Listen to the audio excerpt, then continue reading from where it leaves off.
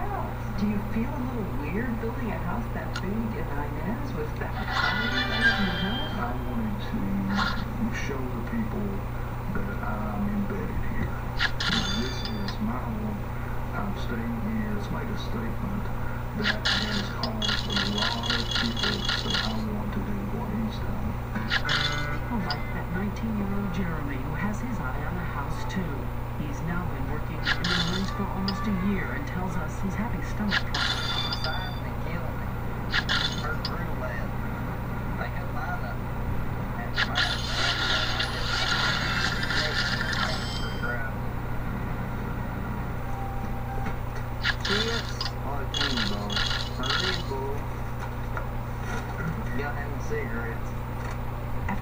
hours of Hurt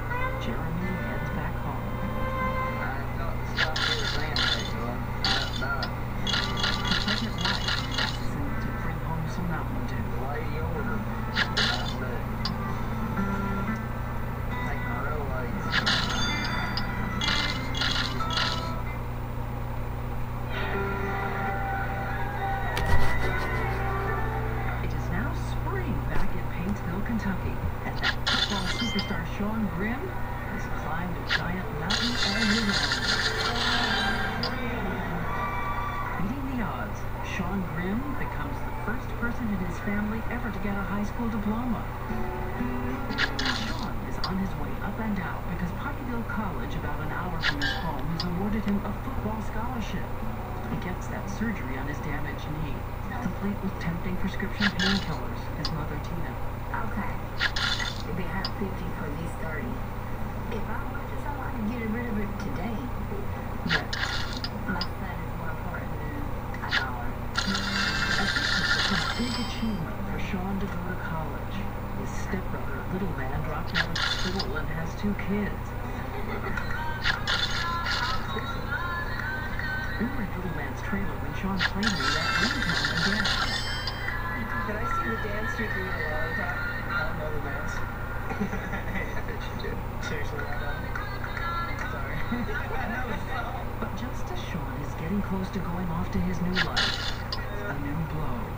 Little Man's girlfriend, the mother of his children, says at 3 a.m. she found Little Man and his 15-year-old half-sister out in back of the trailer having sex.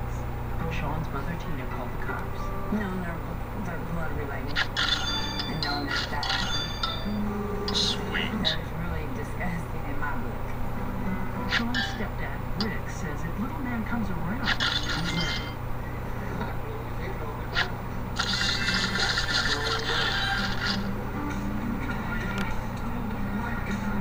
The parents are heading out to see their daughter, who's been taken to a social services facility. Later, Tina tells us she too was molested by a family member when she was young. Rick says this kind of thing doesn't just happen in Appalachia, it's everywhere. Well, if you're no saying the closer you get to deep